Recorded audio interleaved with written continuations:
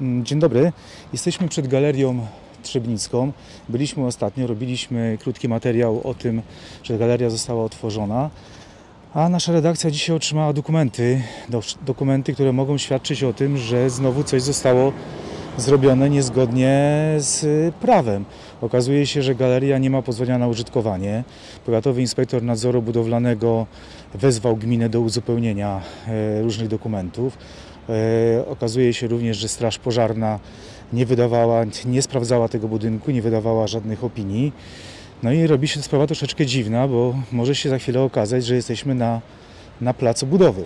Spróbujemy wejść teraz do środka i porozmawiać e, z pracownikami galerii.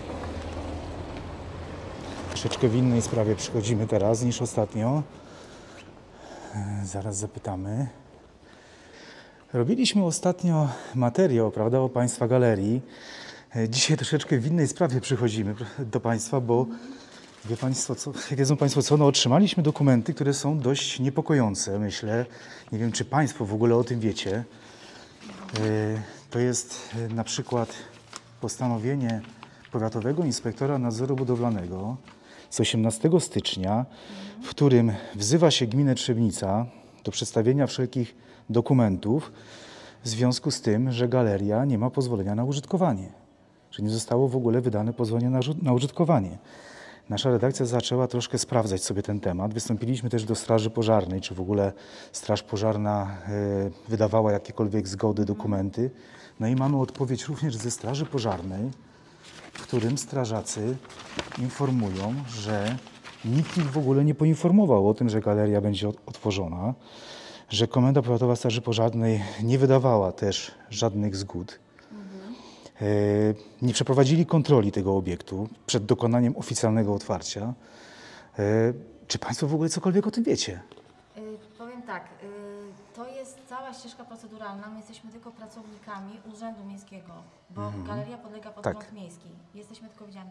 Więc na pewno jesteśmy osobami, nie, tutaj y, w tej materii to y, jest inna zupełnie ścieżka proceduralna. Czyli Państwo nie wiecie nic o tym, że formalnie Nie, może, nie, może to być plac budowy tak naprawdę. Mhm. Poza, nami, tak, dokładnie, ponieważ no mówię, to są, y, my jesteśmy, prawda, jest pan burmistrz, Mhm. czy, czy są osoby wy, wyżej od nas w urzędzie i tutaj one są decyzyjne, natomiast my jesteśmy tak jakby y, tylko y, wypełniamy no, Mhm. Obowiązki swoje. obowiązki, dokładnie. Troszkę robi się to niebezpiecznie, bo jeżeli tutaj przychodzą dzieci, na przykład jakieś wycieczki, a formalnie to jest plac budowy, który nie ma pozwolenia na użytkowanie, Myślę, że po prostu trzeba to y, wyjaśnić. wyjaśnić. Z kim w urzędzie można rozmawiać na ten temat?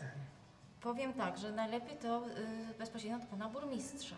Chyba, że go nie ma. To może, nie wiem, z kim? Sekretarzem, może tak? Y, Jest Zastępcą? pani wice też burmistrz, ewentualnie pan sekretarz. Bo jakby państwa, osoby- państwa tak. nikt nie poinformował o tym, że tego typu pisma do urzędu wpłynęły Nie, i że nie, w ogóle na pewno, galeria na pewno. pozwolenia na ma użytkowanie nie ma, nie, tak? Tak, tak, tak, dokładnie. To jest zupełnie inna Rozumiem. ścieżka. Dobrze, dobrze. Dobrze. Spróbujemy, spróbujemy do urzędu. Dziękuję bardzo. E, Dzień dobry. E, Byliśmy ostatnio u Państwa, prawda? E, Chcieliśmy Państwa zapytać z punktu e, informacji turystycznej, czy Państwo wiecie o tym, że budynek ten nie ma pozwolenia na użytkowanie i że w ogóle nie ma odpowiednich chyba dokumentów? Nie mamy takich informacji, że tak powiem, my święcie przekonani jesteśmy, że obiekt jest oddany do użytku. Jeśli chodzi o takie rzeczy, to był nasz Wydział Mhm. Techniczno-Inwestycyjny, to oni będą mieli jakby więcej informacji na ten temat. No, ja e, Tak my, trosz- my odbiorów też nie, nie dokonujemy jako pracownicy, zatem no, też ciężko nam Mhm. się odnieść do tego, bo no, nie mamy takiej wiedzy po prostu. Co ciekawe, zawiadomienie w ogóle o zakończeniu budowy wpłynęło dopiero 10 stycznia 2022, czyli tak naprawdę całe otwarcie było przed zakończeniem budowy. I teraz właściwie nie wiadomo, czy dalej formalnie to jest jeszcze budowa, czy... Znaczy, no, w takim wypadku no, też nam ciężko się, bo nie znamy tych dokumentów. No, jako pracownicy też Mhm, mamy rozumiem. Czyli, wiedzy, czyli jakby Państwo po prostu nic nie wiecie na, na ten no, temat, no prawda? nie, no, Nikt Państwa też nie informował o tym, że coś takiego może mieć, nie, może nie, mieć miejsce. Nie, to jak mówię, no, Wydział Techniczno-Inwestycyjny, no to tam by trzeba Jasne. było kierować pytanie, bo naprawdę, Idziemy, no, idziemy, próbujemy pytać urzędników w takim razie. Dziękuję bardzo, do widzenia.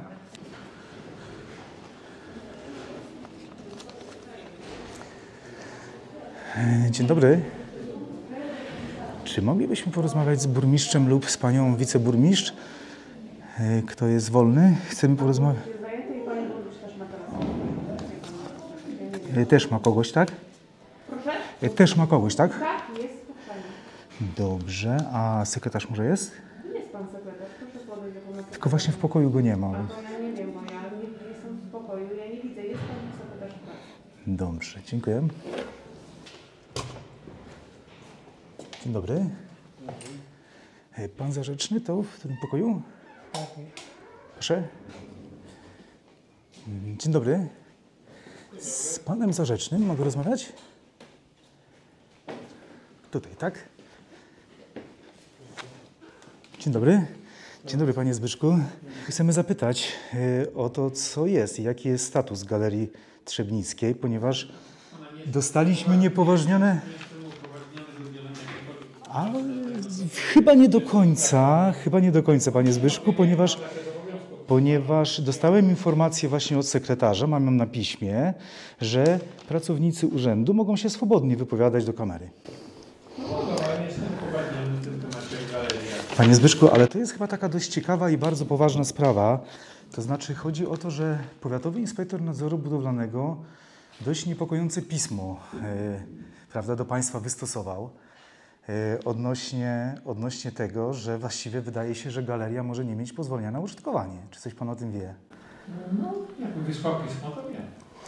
E, czy to jest formalnie plan, e, plac budowy w takim razie, czy... Powiedziałem panu, że ja nie jestem upoważniony, żeby panu udzielać tej kwestii informacji. Nie mogę z panem rozmawiać, czy nie chcę też. Panie Zbyszko, a czy w ogóle galeria miała odpowiednie pozwolenia? Chyba nie rozumiemy się.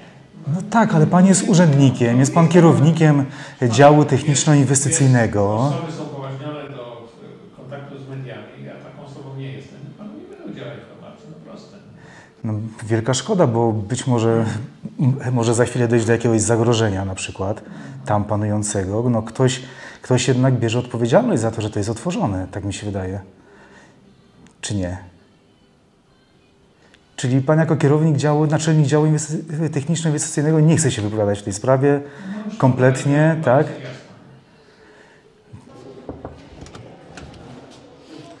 Yy, Dzień dobry, jeszcze raz do Państwa przychodzę. Yy, Czy burmistrz może już byłby dostępny? Yy, Mamy taką prośbę, gdyby Pani mogła przekazać burmistrzowi, że, że jesteśmy, chcielibyśmy, żeby do nas wyszedł, porozmawiał na temat Galerii Trzebnickiej i pism, yy, które, yy, które wpłynęły do Urzędu Powiatowego Inspektora Nadzoru Budowlanego. Pan burmistrz teraz wyszedł na spotkanie poza urząd, razem po spotkaniu, które tutaj było, więc ja nie mogę teraz tego przekazać. Czyli nie ma tutaj już burmistrza w gabinecie, tak? Ani w jednym, ani w drugim, ani zastępcy też nie ma? Pani burmistrz ma jeszcze spotkanie. Jeszcze ma spotkanie, tak? A mogłaby Pani przekazać, że chcielibyśmy porozmawiać? Ale Pani burmistrz nie osobą, która e, jest zapoznana ze wszystkimi sprawami, e, akurat w tym momencie, więc tutaj powinien wypowiadać się Pan burmistrz, myślę. Mhm, czyli Mogę powiedzieć, ale proszę poczekać chwilę, ja nie wiem, czy Pani burmistrz będzie miała teraz moment. Proszę usiąść. dobrze, dobrze. Bo Pana sekretarza, rozumiem, już nie ma, tak?